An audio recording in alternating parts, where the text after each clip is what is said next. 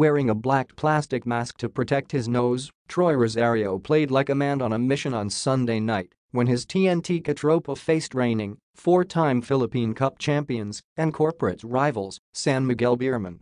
The sweet-shooting 6'7 forward was totally impressive in his season debut, producing 22 points spiked by six triples along with five rebounds, an assist and a steal to help the Texters walk away with the huge upset, 104-93. Makang Suwertanga, said Rosario of his mask. First time Kong Makabalik saw conference. Mabuti, Yunga, to Mama at Nakachulong Ako sa team.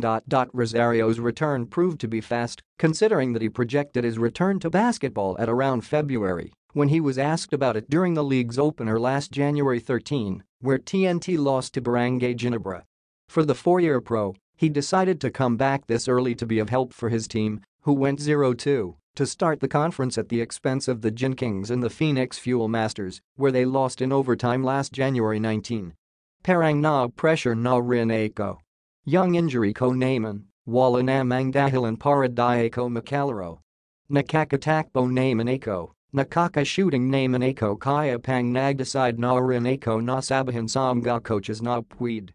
May clearance naman na ng Dr. Kaya Minadali na rin yung pagbalik, he said. With his impressive showing, it is now safe to say that the 27-year-old Rosario is all set to work with Gilas Pilipinas for the sixth window of the 2019 FIBA World Cup Asian qualifiers set in February versus Qatar and Kazakhstan. Unaman. Makakahabal Naman. Yun din isakong inayasap ng injured Ako Kasi February young window.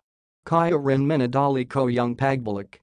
Baka sakaling yunga, Malay natan makapaglaro. Ngayon, nakapaglaro na, he said. Kaya sa tinjan ko magaging ready name and Ako, if ever